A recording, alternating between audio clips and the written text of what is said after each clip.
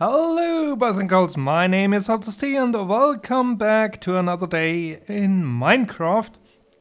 We are here back in our world, where last time we have built some redstone decoders and encoders, and today we want to tackle another project related to that. So, incidentally, um, we have here at our cobblestone farm, we have a decoder that can deal with two signals, and that's good because we want to send cobblestone either over to our storage system to uh, to fill up um, uh, the cobblestone storage or towards our smelter uh, because we might need stone smelted there. Right, so that should be easy. We get two signals out and we then have to send the shulker boxes one way or another.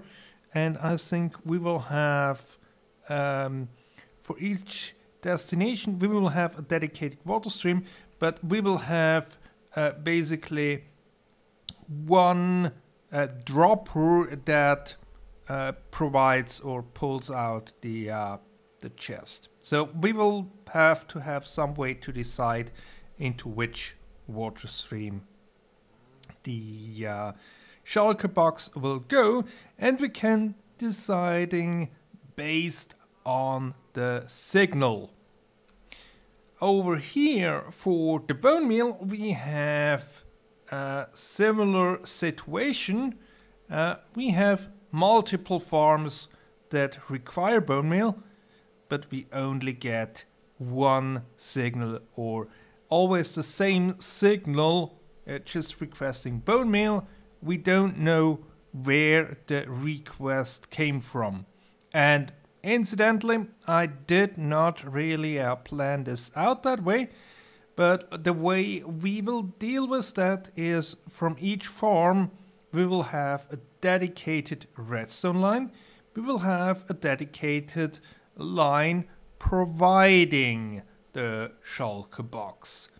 Uh, that then means we also have to decide where the shulker box in which water stream it will go. And this time we have to basically decide that based on the input line of the redstone signal, while there we can base it on the decoded output. So I think uh, let's hop over quickly into the redstone test world to figure out how we can do that um, in a meaningful way. I think we are on a winning design here. We have water stream going out from here and then basically here at this point splitting in two direction.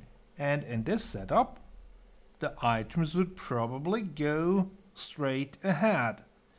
But we have pistons below that can block either of those passes uh, so if we press this button, this one will be uh, uh, blocked and we will end up with the item here. Now, if we do this on this side, we end up with the item there. And after we have this bounced the item. We have a bit of delay going on here and then we power the top two piston to uh, move any block that was moved up down again. And here we don't even need to care uh, which block we moved up. We just make sure we move everything down again. And this is good enough for our cobblestone uh, farm because there either we have to send it this way or that way. However, for the bone meal, we need more than two inputs. So basically that means we probably will have this module next to, to here, maybe with a bit of space. But that also means uh, we most likely have to uh, not only move one block up, but more than one. So let's see how we can achieve that. And now also this problem seems to be resolved. Um, while this setup is a bit cramped, as you can see, we have the waterline output here and basically redstone line at the same height. So that will not work. So we will end up with putting that all uh, down below the water lines. But that's just an implementation detail. And I have now here two outputs uh, color coded. The lime one triggered by this line and the yellow one by this line. And we have then on here the input signal and this is nice because it basically separates the way uh, where we get the uh, input uh, where we might need to consider the signal lengths However, for the bone meal, that does not matter because we get uh, signals in only from farms that want bone meal, so we could even do away with the with the decoder. And then here, if we have a signal, uh, cauldron gets pushed up, we unpower the redstone line, which then means torches are lit here on the side because they are currently unpowered because the redstone line is powered. And what this does is powers one or two or even more redstone lines below. And the way we do that is we want to power those redstone lines um, that we want pistons to move down. So here for the yellow line where we want output on this end, we want to move that piston down or the piston below firing. So that's why we have a torch there. And then for the green line, where we want to have the output here, that means this one should be closed off. Yeah, we have a torch there. And then this one should also be closed off and we have another torch there. We don't have a torch there, which would be corresponding to that piston pair there. And we don't have a redstone blocking that pass there. So that's uh, quite an easy way and actually I am quite a bit enamored with uh, this setup of getting a redstone signal out because what you can also do uh, to get a redstone signal right is having a redstone block there we have it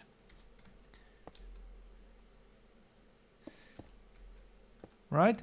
But how do you move that? Because if you do that, the piston is powered because it has a power block adjacent. Uh, that really does not work. And the fact if you have a movable entity can be moved around with a piston, that gives out a signal that can be uh, uh, compared or you can take an output like uh, for example a container you can basically get uh, a signal out you get even different signal strengths but here we uh, don't care about that uh, we basically only want to distinguish we have a signal we don't have a signal and unfortunately most containers that we can take a signal out are not movable in Minecraft Java Edition. Uh, so uh, water-filled cauldron is a nice exception there. And if we would have to prolong that, uh, we could probably somewhere between two lines we can have uh, repeaters to bring the signal strength back up because signal strength is not something that we are worried here. We just need a signal that's long enough uh, for these torches to light up. So signal strength of um,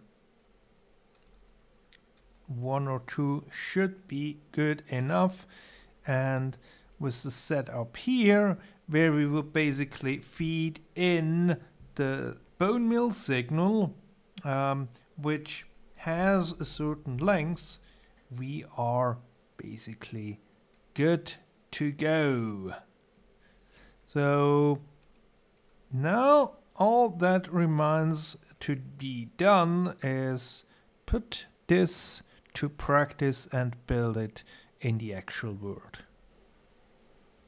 I have put two systems in place. This one here is the smaller one and as you can see the redstone lines down there that should hook up to uh, the decoder are color coded so we know um, if we have cobble for smelting that should go out this way and cobble for storage this way. Um, I wait off with the with the hooking up of the of the system.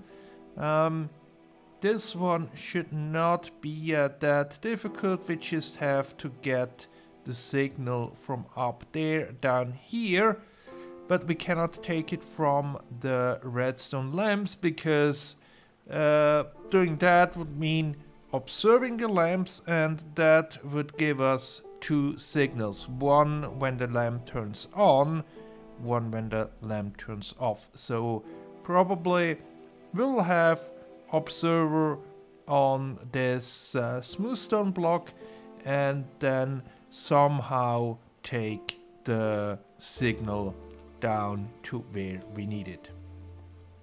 And as you can see, I had to make a bit of room down there because the farm was just not built high enough and that's basically the reasoning why most of our farms are floating in the air. And here on this side we have a few more colors. We have the dirt, we have the normal tree, we have the uh, acacia, the mangrove, and the 2x2 tree farms that does not have a automated system to detect when we need stuff. And up here it also gets a bit uh, colorful and a bit more complicated with more lines crisscrossing over each other but now we basically have the uh, the input and the coder down here and the output lines with the water stream can go up uh, on that level. However, we are not yet at the end of our problems that we need to solve with that system and this might give you a hint of uh, what's coming next. But that's it for today. Hope you enjoyed this episode. If you did, please consider leaving a like. Don't forget to subscribe to not miss the solving of the comparator mystery in probably the next one. So I'll see you then. Goodbye.